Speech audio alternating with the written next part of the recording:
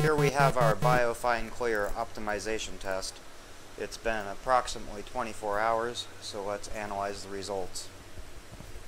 This is sample number one. You can see it's very bright on the top, haziness, and then we pay specific attention to the bottoms, how dense they are, how fluffy they are.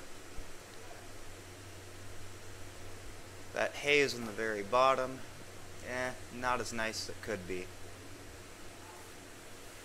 Gently rotate this so we can analyze 2, 3, and 4.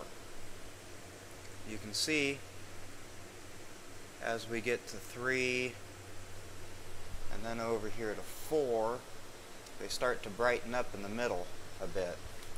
Let's continue to rotate.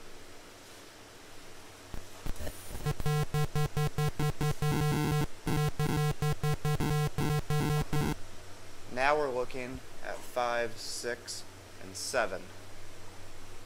So let's take a look at the bottoms. You can see 7 is thicker.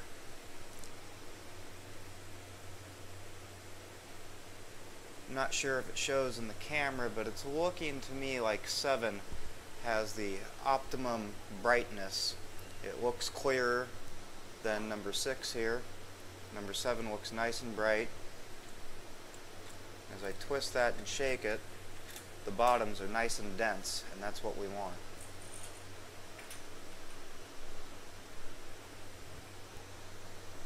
Now we're looking at number 8.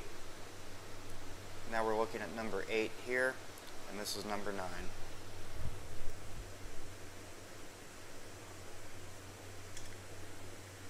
I really don't see any great improvement to number 8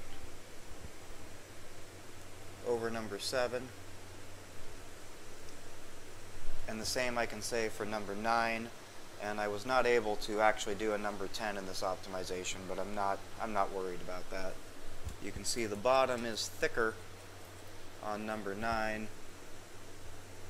And as I move it, I don't know if you can see that in the camera, but the top of that is very fluffy. We don't want the fluffy bottoms, we want them nice and dense.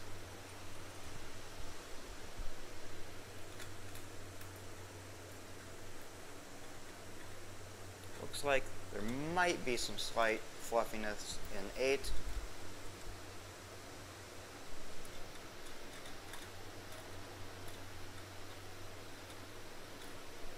The top of that appears to jiggle a little bit in number 7. Let's look at 6 a little closer. Very slight jiggling there from this test, I'm thinking either number 7 or number 8 is going to be the one we'll go with.